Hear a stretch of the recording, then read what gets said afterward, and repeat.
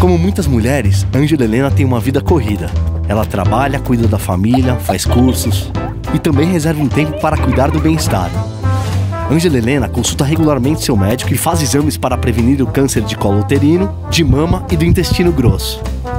Afinal, o autoexame é apenas parte da prevenção e o cuidado com a saúde deve ser completo, principalmente para se proteger de problemas tão graves e tão frequentes. Por isso, Angela Helena conhece a importância dos hábitos saudáveis. Praticar atividades físicas leves ou moderadas pelo menos cinco vezes por semana. Reduzir o consumo de gordura na hora da alimentação. Comer carne vermelha apenas duas vezes por semana e evitar o consumo de álcool são algumas recomendações quando se trata de cânceres de mama, do colo do útero e do intestino.